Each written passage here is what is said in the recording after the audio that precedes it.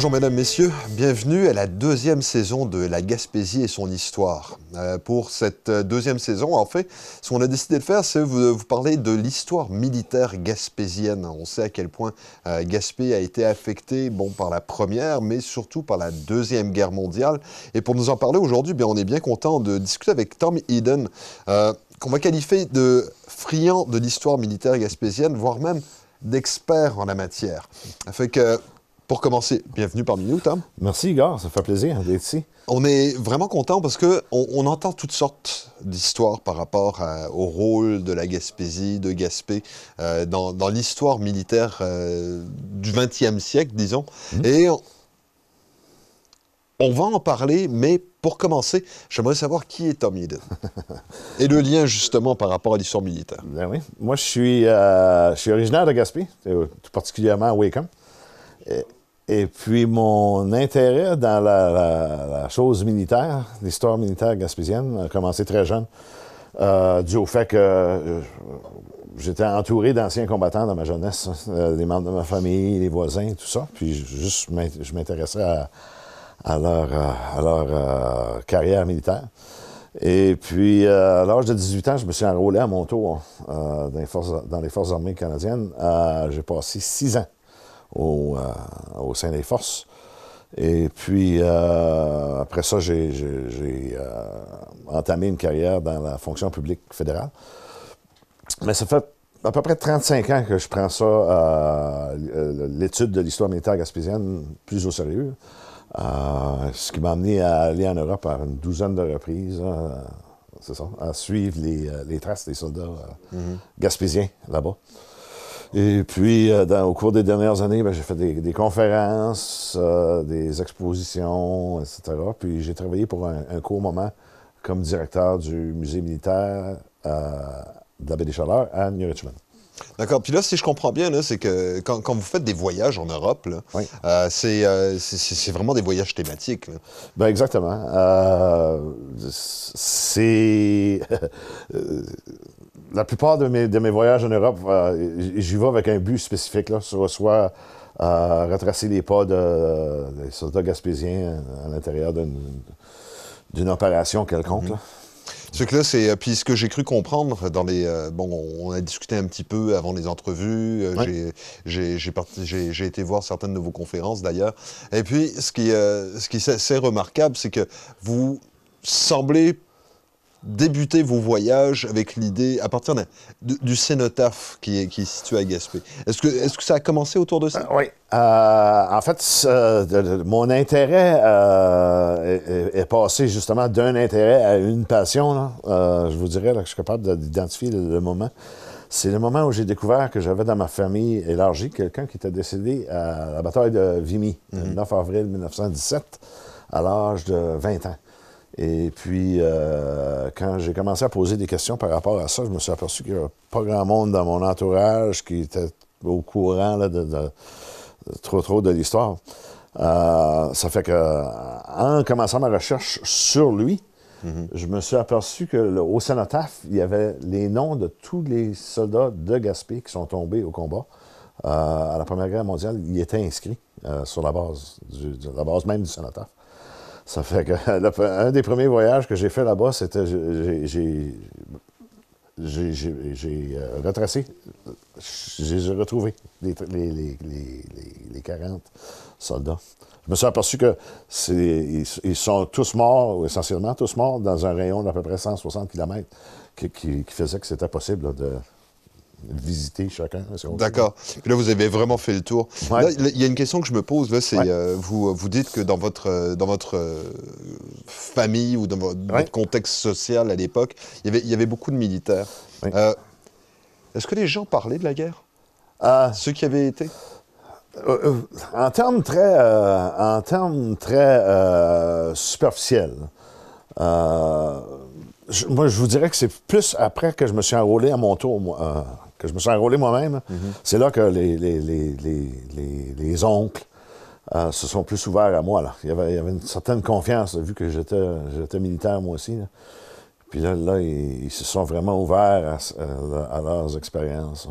Puis ça, c'est surtout des gens qui avaient participé à la Deuxième Guerre mondiale, j'imagine? Euh, Deuxième Guerre mondiale. Puis, je suis assez, je, suis assez vieux aussi pour avoir, avoir connu des, des, des, vétérans, des anciens combattants de la Première Guerre mondiale aussi. J'avais ma grand-mère du côté, ma grand-mère maternelle avait trois frères qui avaient euh, combattu durant la Première Guerre mondiale. Moi, j'en ai connu deux de ces, ce qui se trouvait des grands, des grands oncles. Mm-hmm. Puis, il conservait quel genre de souvenirs de, de, de, ce, ce, type d'expérience? Bien, euh, un, des, un, des, un des oncles en particulier, Augustin Goulet, euh, lui, il, il, en conservait un, un, souvenir très euh, frappant. Il avait perdu le bras gauche à la bataille de, dans la région de Ypres, en Belgique, mm-hmm. en 1916, à l'âge de 21 ans. Euh, fait que lui, il avait des séquelles physiques de ça. Euh, fait que c'était évident. Et puis, euh, j'avais euh, le frère de cet, cet oncle-là, Félix Goulet, qui, euh, en passant, les deux avaient servi dans le, le 22e bataillon, 22e bataillon canadien-français durant la Première Guerre mondiale. Et puis, mon oncle Félix, lui aussi, avait des séquelles physiques mm-hmm. de ça. Ça fait que c'est des gens qui étaient, qui avaient une certaine retenue ben, euh, moi, je vous dirais que, que, que, que mon oncle Augustin, euh, lui qui avait, qui avait, été amputé du bras euh, gauche, lui était euh, très actif au niveau des, euh, de la Légion royale canadienne. Mm -hmm. C'était le président fondateur de la filiale à New Carlisle, dans la baie des Chaleurs, et aussi le président fondateur de la filiale de New Richmond, les deux. Donc, lui était très actif en termes de, de, de, des activités là, pour les anciens combattants. D'accord, donc lui, il avait un ouais. devoir de mémoire. C'est ça, exactement. D'accord. Là, on va embarquer dans, dans notre sujet, ouais. donc euh, la, la, la, Gaspésie en guerre. On va commencer donc par la, la Première Guerre mondiale, évidemment. Ouais. Euh, on se rend compte que, bon, euh, ça, bon ça, ça commence euh, été 1914, dans, dans ces eaux-là, la, la, Première Guerre est, est, déclarée. Mais juste avant, là, ce que, on va regarder un petit peu le contexte plus large. Okay. On va commencer même non pas en Gaspésie, ni même à Gaspé. On va commencer à Sarajevo avec euh, l'assassinat de l'archiduc euh, Ferdinand, donc à, à l'été 1914. Puis, Gaspé est un peu loin à ce moment-là. C'est ça, exactement. Puis, c'est un peu une illustration de comment les, les, les événements qui, qui, peuvent se passer à l'autre bout de la l'autre bout du monde peuvent avoir une influence euh, chez nous, mm à Gaspé.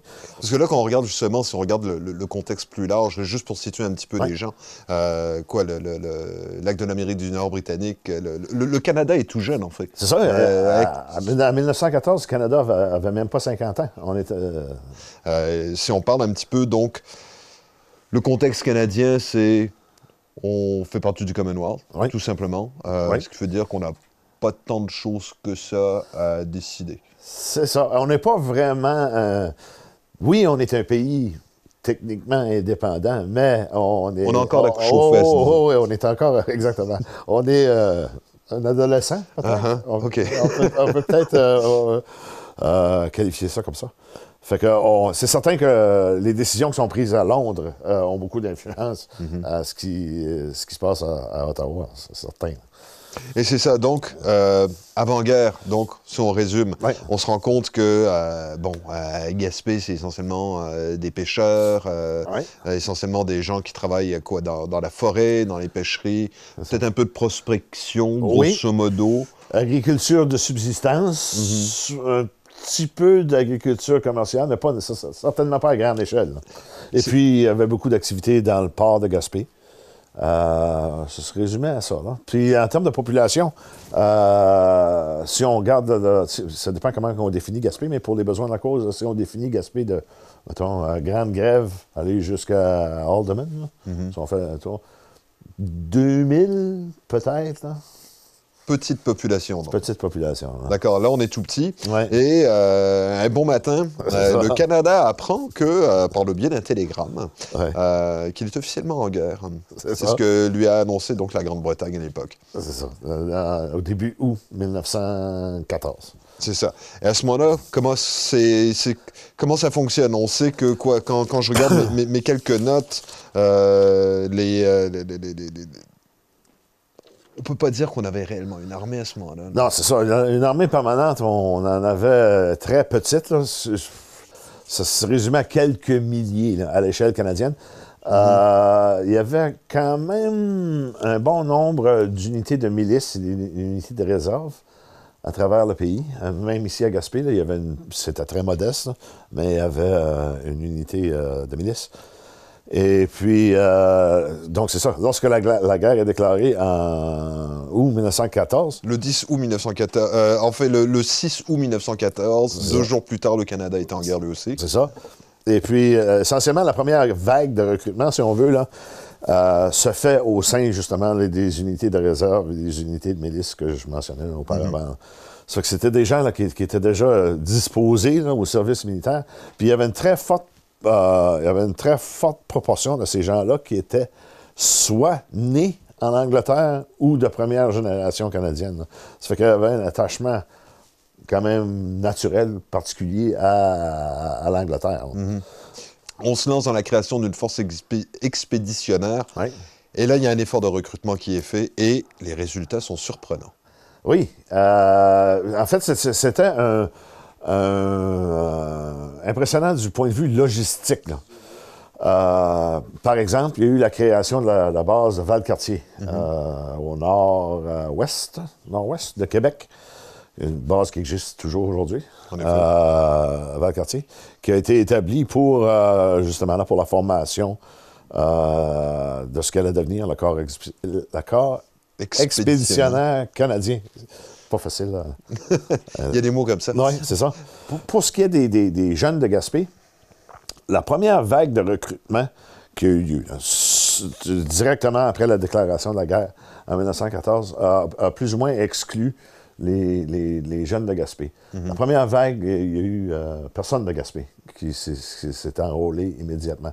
Puis, euh, il faut se rappeler aussi qu'à l'époque, on, on croyait que la, la guerre, ça allait durer quelques mois. Il y avait même euh, une bonne majorité de politiciens qui pensaient que ça allait euh, être terminé avant Noël 1914. Donc, c'est Vraiment que ça, ça pas long. On va aller en Allemagne, euh, on va aller du côté de l'Europe, on va, on va régler ça, puis on va être de retour euh, dans Ben, quelques mois. C'est ça, ils pensaient beaucoup que c'était comme euh, comme c'était dans le temps. Euh, Ben C'est-à-dire qu'on se donnait deux, trois, entre guillemets, euh, là on s'entend, hein, je mets ça entre guillemets, Ouais, on ouais. se donne deux, trois taloches, euh, on règle ça, euh, et puis on règle ça sur le coin de la table. Alors que là, ça a complètement dégénéré. Euh, et, mais en même temps, les, les- les Canadiens, quoi, en, en l'espace d'un mois à peine, même un peu moins d'un mois, parce que le, au 8 septembre, on était déjà rendu à 32 000 volontaires euh, à travers le Canada. Euh, donc, il y avait- il y avait une ferveur euh, patriotique pour l'Angleterre. Exactement. Et puis, euh, ben, c'est ça. Puis, il y avait aussi le, le- le- le- sens de l'aventure. Il faut, faut se rappeler aussi c'est qui le public cible de, de- de- des efforts de recrutement. On parle de jeunes hommes, la grande majorité, s- spécialement là, euh, 100 ans, durant l'époque de la Première Guerre mondiale. Ça fait que le, le- le- il y avait quand même une notion romantique à ça. là.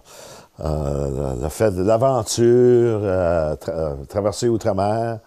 Euh, pour ceux qui étaient originaires de l'Angleterre, c'était une occasion de retourner en Angleterre, hein, de, de- de retourner chez eux. Euh, ça fait que, euh, c'est ça, ils ont, ils ont eu quand même assez de- de bons succès pour le recrutement euh, dans les euh, jours qui ont, qui ont suivi la déclaration de la guerre. C'est ça, donc beaucoup d'anglophones. Euh, puis jusqu'à un certain point, est-ce que les francophones étaient vraiment intéressés à embarquer là-dedans? Ah, pas pas- pas au, début, pour une variété de raisons. là.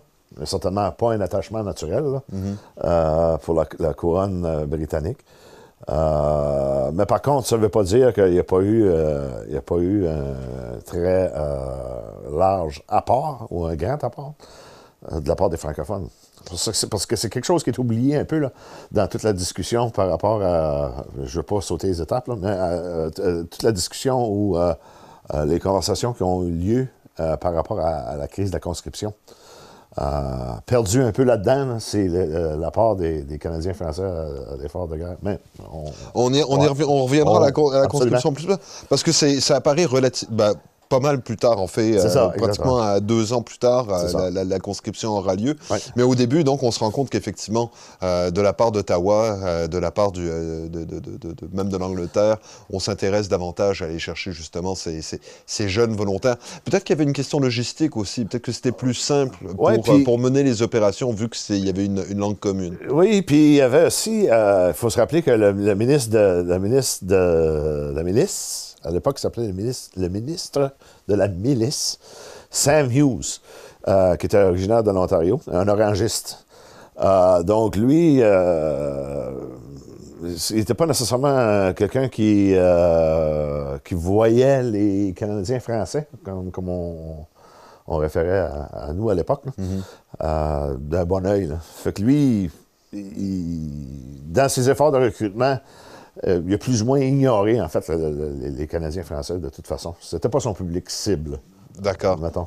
Et puis là, si on regarde donc par rapport à, à Gaspé en tant que tel, euh, on se rend compte que quand même, euh, Gaspé est identifié comme point de départ pour, pour, pour permettre aux- pour, pour préparer finalement les troupes à, la fameuse traversée. C'est ça. Parce que euh, j'avais mentionné auparavant l'établissement de la base à Valcartier, euh, non loin de Québec.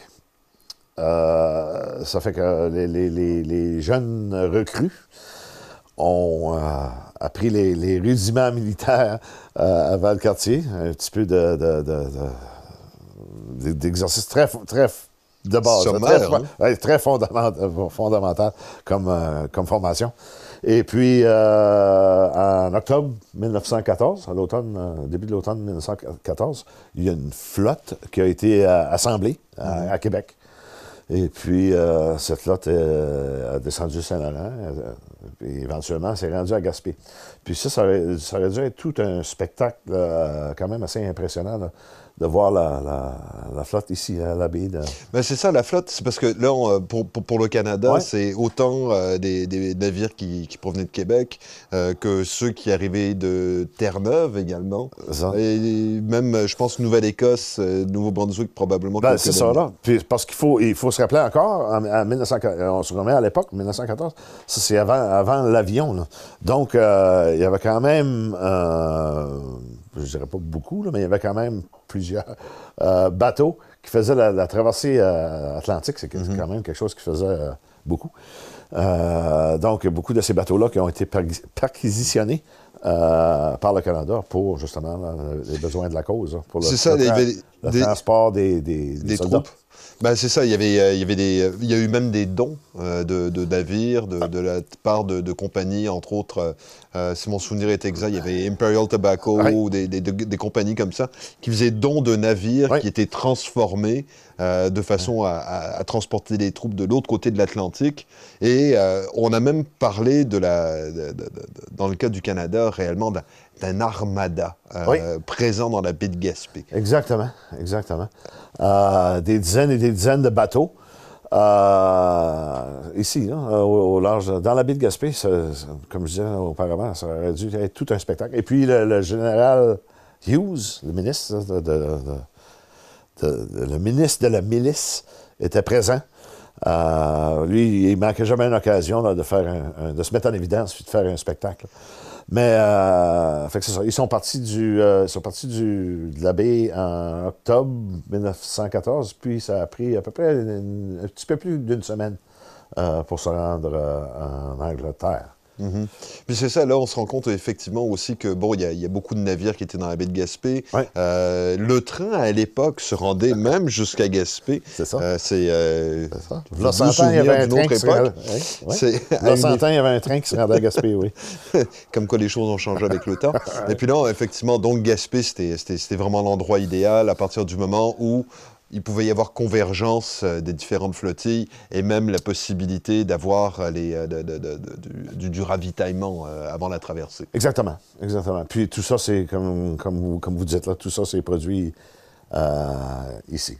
Et tout ça pour une population qui était toute petite, donc on parlait d'à peu près euh, 2000 habitants tout et partout à Gaspé. C'est ça, là. Pour euh, si on prend là, le territoire qu'on peut définir là, comme euh, à partir de, de Cap-Gaspé, là, Grande Grève, jusqu'à Haldeman, on parle de, c'est ça, de à peu près 2000 personnes. là. Puis là, est-ce que ça a permis au un développement économique sur Gaspé durant cette période? Euh, oui, euh, mais ça n'a pas nécessairement un impact majeur.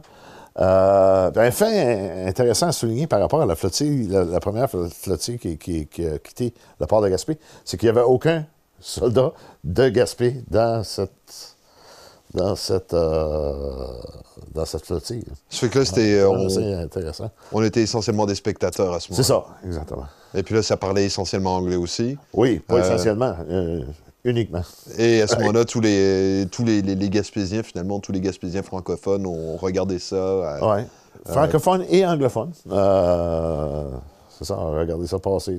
D'accord. Regardez le bateau passer. en fait. Ils ont, oui, c'est l'expression s'y s'y prête, ça. en effet. Ouais. Et euh, donc, entrée en guerre, euh, on fait la traversée tranquillement. et où est-ce qu'on arrive? On, on se retrouve à, à ce qu'appelle euh, le St. Martin's Plain, euh, dans le sud-ouest de l'Angleterre. Et on, on passe l'hiver 14-15 à des exercices de formation. Puis, euh, les soldats étaient euh, basés dans des, des conditions quand même assez rudimentaires. C'était sous, sous la tente, là. Euh, en campagne, sous la tente. A eu- l'automne et l'hiver en Angleterre, sous la tente. Exactement. Et puis, euh, exactement. Et puis, il y a eu quand même certains problèmes en termes de, de- de santé. il y a eu des. des, des- je n'irai pas jusqu'à dire que c'était des épidémies, mais il y a eu des, des éclosions, là, si on veut, là, de, certaines maladies, là, dont la méningite. Il y avait eu euh, ouais, euh, certains problèmes de, ce- de ce niveau-là. là. D'accord. Puis ça, ça a été donc, euh, effectivement, on s'entend que les conditions sanitaires étaient vraiment pas évidentes. Exactement. Euh, et puis là, on- les, les- les soldats n'ont pas encore touché euh, au combat à ce moment Oh non, non, non. Ils sont. sont- sont- non. Ils sont en Angleterre. D'accord. Puis là, quand on parle justement de l'entraînement des soldats à ce moment-là, ça ressemble un peu à quoi? Ça ressemble à. beaucoup à- de jogging? Oui, beaucoup de jogging, puis beaucoup de, beaucoup de tirs à la carabine. La, la Lee Enfield 303, euh, avec la baïonnette, euh, etc. là. C'était vraiment des tactiques de base. Euh, fait à noter, aucun entraînement par rapport à la guerre chimique qui, qui allait venir nous hanter un petit peu plus tard. là. Là, on s'entend que, par contre, que les... euh, bon, est-ce qu'on peut dire que nos soldats étaient prêts à aller à la guerre? Absolument pas. Euh, tout à fait le contraire. Tout à fait, tout à fait le contraire. Parce qu'on, on- euh, une des choses qu'on apprend en étudiant l'histoire militaire, c'est qu'on sait comment les guerres commencent, mais on ne sait pas comment ils vont se dérouler. Souvent, il y a des gens qui étudient la qui se préparent en, fonction d'un éventuel conflit, mais euh, ça va jamais. euh, les, les événements se déroulent jamais euh, according to plan, selon les plans. Et puis, euh, quand, quand on est... euh, donc là, on est en Angleterre, euh, les, euh, les soldats sont en train de, de- de- se préparer tranquille, bah, entre guillemets tranquillement. Ouais. Euh, est-ce qu'on pense encore que la guerre sera courte? Euh, ça, c'est une illusion qui, euh, que- que- que- qu'on, perd rapidement. là. Euh, on s'aperçoit là, que oh, ça, ça se peut que ce soit pas mal plus long qu'on, qu'on pensait. Euh, les Allemands sont, pour le territoire qui va concerner les Canadiens, les Allemands sont en Belgique. Là, on voit l'établissement du front qui devient stationnaire. là. Puis on a des indices qui nous mènent à croire que ça va durer quand même euh, un certain temps. là. Ça fait que l'enthousiasme qu'on avait envers la possibilité d'avoir une guerre courte euh, commence à s'effriter. Euh, à l'automne, hiver, qu'à 14. là. Là, tranquillement, on se rend compte Ouais, que qu'effectivement, long. chacun est en train de creuser son Ouais. trou, euh, sa tranchée. Et c'est à ce moment-là que, justement, les Canadiens vont partir de l'Angleterre pour se retrouver essentiellement en Belgique. C'est ça. Euh, via la France, les Canadiens se retrouvent euh, en Belgique, en Flandre plus particulièrement, en Flandre de Ypres. D'accord Commencent les diverses batailles, euh, vont participer justement les, les troupes canadiennes dans le prochain épisode. Donc, on a fait modo, grosso modo le tour de ce qui s'est passé avant la guerre, tranquillement la façon dont les choses se sont passées à Gaspé. On se rend compte qu'il y a peu de francophones, un certain armada anglophone. On parle d'une dizaine de jours pour traverser. On se retrouve en Angleterre. Oui. On vit dans des conditions difficiles. Et au prochain épisode, justement, on va parler de, euh, des, des combats en tant que tels. Absolument. Donc, euh, quoi, on a fait le tour. Prochain épisode, on va justement parler euh, de, des Canadiens au front. C'est pas compliqué. On parle de la bataille de la Somme, de Vimy, euh, de la côte 70. Euh, on va parler un petit peu de la conscription également. Vous allez voir, ça a été. La Première Guerre mondiale a vraiment été extrêmement dure pour les pauvres troupes canadiennes qui se sont retrouvées un petit peu malgré elles, coincées au milieu de cette, comment dirais-je, de ce paysage plat de la Belgique.